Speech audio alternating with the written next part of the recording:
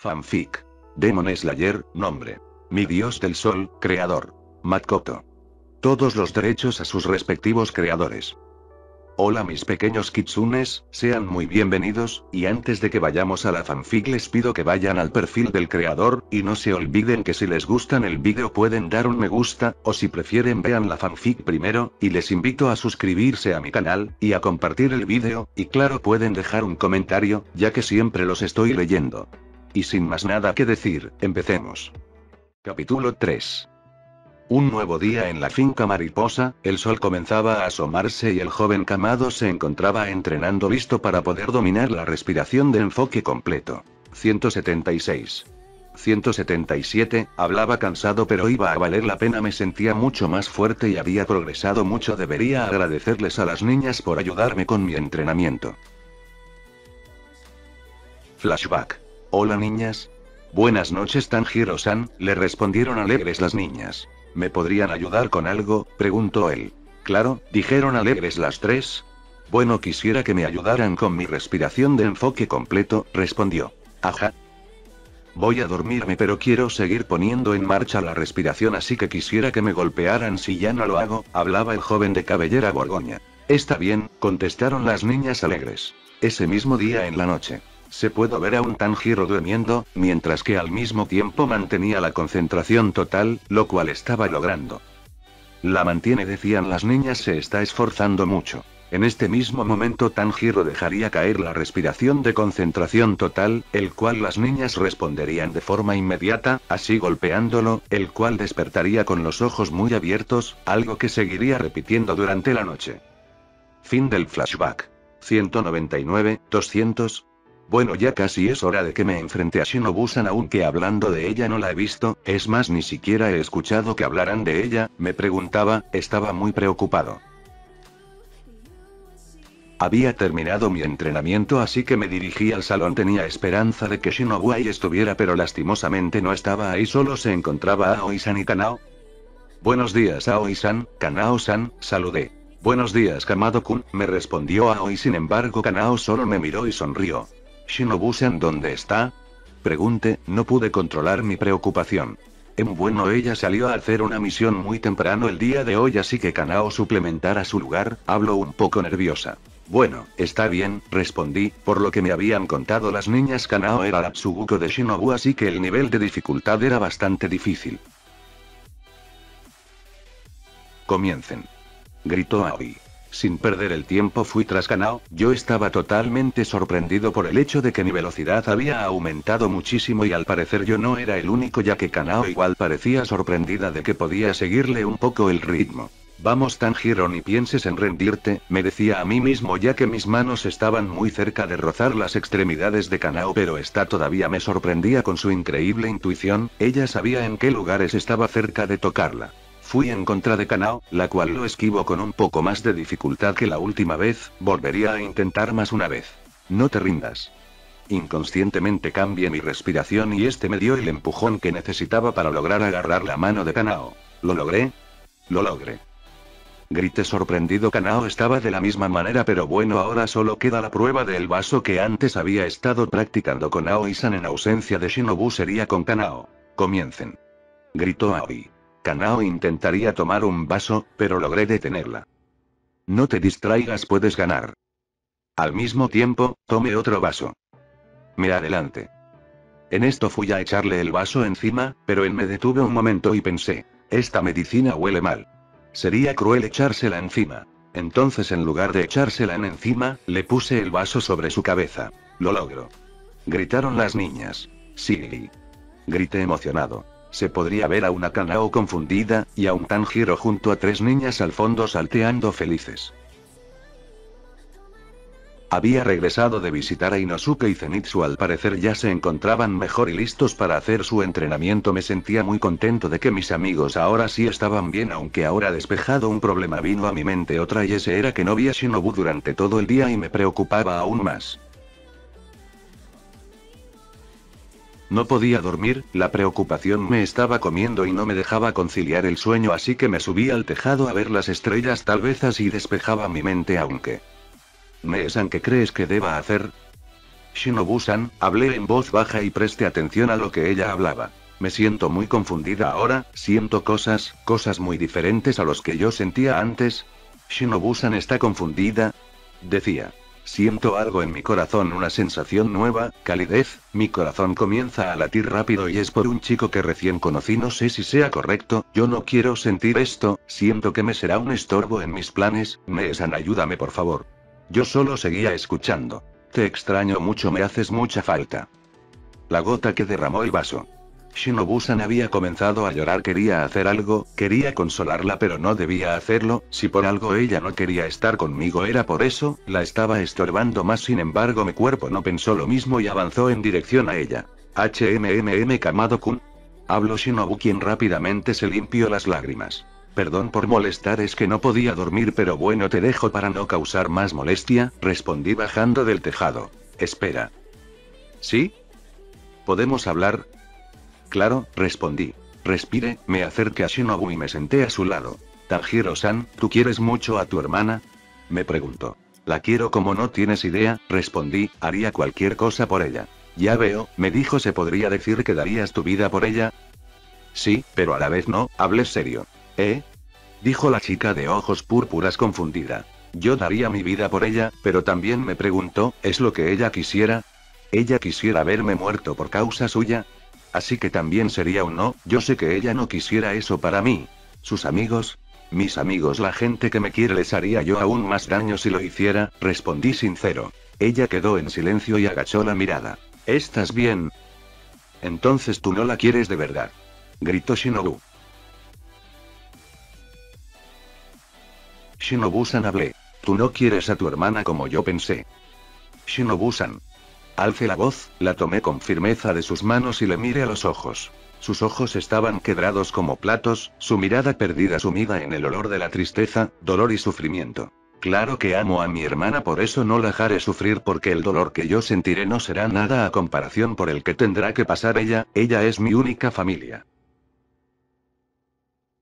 Porque los demonios tienen que ser tan malos porque son tan crueles, sin mi hermana yo ya no tengo nada, yo sinceramente ya no quiero vivir, hablo Shinobu sumida en la tristeza. Shinobu-san, sabes, yo pensé lo mismo que tú, yo pensaba que mi hermana igual estaba muerta y sí, yo ya no le encontraba sentido a mi vida, pero sin embargo el destino quien había sido cruel conmigo se apiadó de mí y me devolvió a mi hermana con un nuevo propósito en mi vida, me aferraré con fuerza a él y lo cumpliré. Ella poco a poco se iba tranquilizando, la acerqué poco a poco a mi pecho y dejé que descansara, que descanse de todo su dolor. Shinobu-san todos tenemos un propósito en la vida y tenemos que vivir, tenemos que vivir por esas personas que nos quieren, tenemos que vivir para cumplir con nuestros sueños. Tanjiro-kun, su respiración se volvió con más fuerza.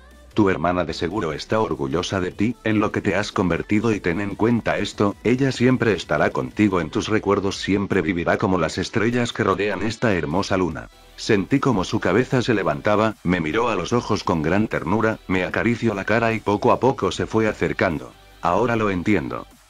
Flashback. La finca mariposa residencia de las hermanas Kocho, dos jóvenes chicas Kanae y Shinobu se encontraban bañando a la pequeña Kanao al parecer tenían una plática muy agradable. Tranquila, Kanao es muy linda hablaba Kanae muy animada. Meesan eso no tiene nada de lógica gritaba Shinobu. Nuestro corazón se abre cuando ve la oportunidad algún día se enamorará y cambiará y eso también va para ti sonrió la joven de ojos fucsia. Meesan eso no tiene sentido. Fin del flashback. Eto Shinobu-san ¿qué haces? Kamado-kun, yo, te quiero, finalizó la chica de ojos púrpuras robándole un beso al chico de ojos rojos. Fin del capítulo. Capítulo 4. Tanjiro-kun, hablaba una chica de ojos púrpuras quien besaba con pasión a un joven de ojos rojos. Este por el contrario se encontraba muy confundido ante las acciones de ella. Shinobu-san para, la separé de mí, estaba totalmente sonrojada pero yo no me encontraba muy cómodo. ¿Qué sucede? Me pregunto ahora confundida. Es lo que me preguntó yo, respondí de la misma manera. Tanjiro-kun, tú me gustas, habló ella firme. Yo solo pude atinar a sonrojarme y a ponerme mucho más nervioso. Pero, ¿por qué? Tú te preocupas mucho por mí, tu forma de ser conmigo siento algo nuevo dentro de mi corazón y esto es por ti, habló Shinobu de manera muy tierna. Pero yo. Balbuceaba más sin embargo ella bajó la cabeza. Entiendo, su voz poco a poco se iba quebrando, pero ¿qué estoy haciendo? La hago sentir feliz y ahora la estoy haciendo sufrir. En serio, soy un idiota. Shinobu-san, le tomé de las manos, me miró a los ojos. Lo que trato de decir es que yo no sé qué es eso de gustarle a alguien.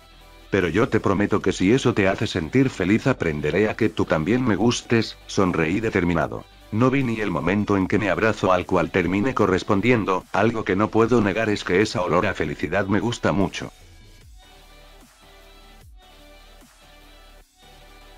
Mi cabeza, me siento confundido. Hola. Uh, hola.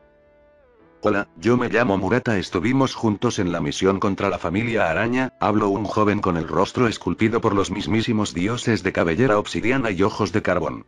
Oh. ¿Te encuentras bien? Preguntó Murata Go. Ah, no es nada, lo siento que te trae por acá. Es que estaba muy preocupado por ustedes. Había escuchado que resultaron muy heridos y vine a verlos aquí en la finca mariposa, respondió la encarnación de los dioses.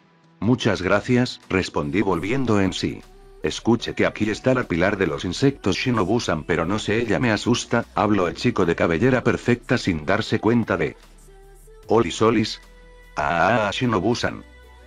Buenos días, Tanjiro-kun, sonrió la pilar del insecto. Hola, respondió Shinobu animada. Bueno, veo que ya estás mucho mejor, cuídate, adiós, dijo por último Dios Murata antes de irse. ¿O es un amigo tuyo, Tanji-chan? Preguntó la pilar. Sí, supongo, ¿eh? Mire sonrojado a Shinobu ella comenzó a reírse pues recién había captado como me había dicho. ¿Que acaso no te gusta como te digo? Hizo un puchero fingiendo estar triste. No, no, está bien, me gusta mucho, sonreí nervioso. Mi lindo Tanji-chan,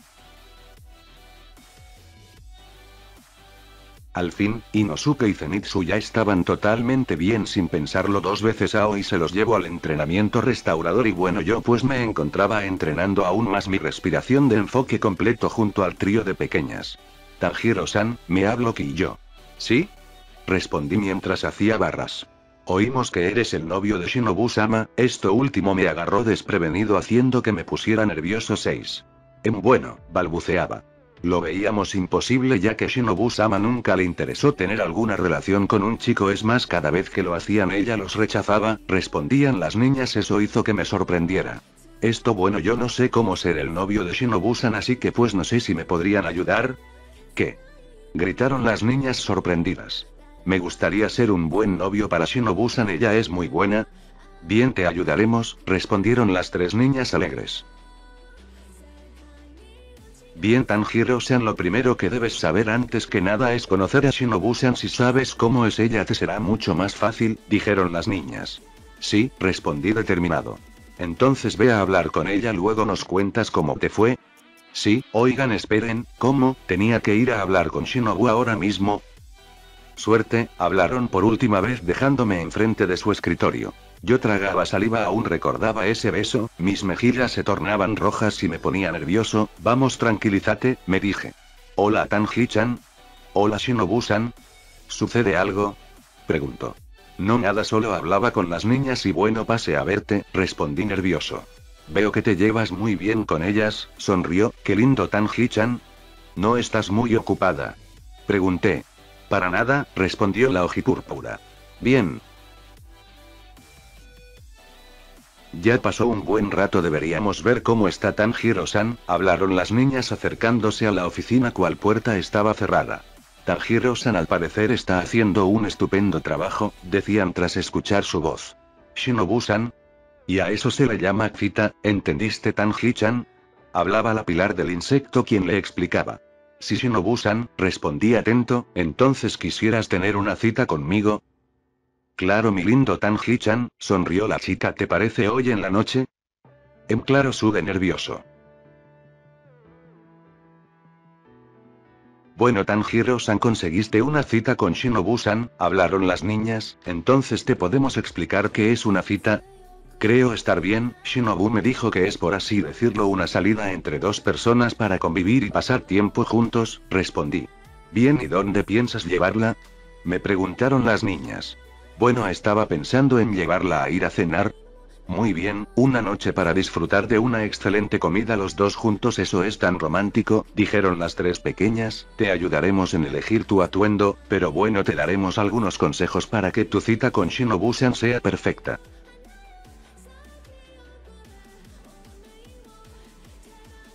Bueno, recuerda que dijeron las niñas, casual y elegante, me decía a mí mismo mientras recorría los senderos con dirección a una tienda de ropa.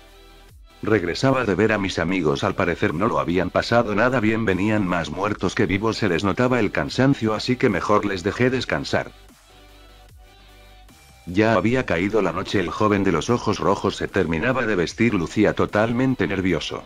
Vamos tranquilo, me decía a mí mismo, tome rumbo afuera de la finca donde sorpresivamente me encontré a Ganezuka y Kanamori-san. Este último no venía muy alegre que digamos. Ten toma tu espada, decía a Ganezuka molesto. ¿Qué? Ese amigo tuyo el que tiene cabeza de jabalí arruinó mis espadas. Gritó Kanamori. Lo lamento mucho, prometo que Inosuke-san cuide de su espada, dije totalmente asustado. Más te vale, y si vuelves a romper tu espada te mataré. Ay. Ya había caído la noche, estaba sentado en un banco pensando cosas triviales hasta que de nuevo. Vino algo a mi mente, más bien alguien. ¿Que quién es él? ¿Por, por qué se parece tanto a mí? Tanjiro-kun. Lo siento, es que mi mente está un poco. Shinobu-san. Estaba totalmente sorprendido, nervioso y sonrojado. ¿Ocurre algo Tanji-chan? Me preguntó. Shinobu-san lucía muy hermosa. Imagen en la pantalla carita de Pac-Man. No, nada respondí totalmente sonrojado. ¿Qué tal, cómo luzco? Preguntó la ojipúrpura. Luces muy linda, dije eso último sin darme cuenta y rápidamente me tapé la boca. Ara Ara Tanji-chan sonrió pícara la pilar del insecto. Lo lamento, se me fue, dije totalmente avergonzado. No te preocupes por eso me sonrió, seguía avergonzado a ver Tanjiro ya basta de avergonzarte y actúa como un hombre para ella, le devolví mi sonrisa y le ofrecí mi mano. Que caballero e Tanji-chan soltó una pequeña risita. Bueno Shinobu-san es hora de que comiences a gustarme. Fin del capítulo. Bien Kitsunes este fue el cap, siento si algo anda mal, pero en algunas partes tuvieron solamente una imagen, entonces tuve que escribir yo mismo, y como ya lo he dicho no soy bueno con estas cosas. Bien nos vemos, adiós.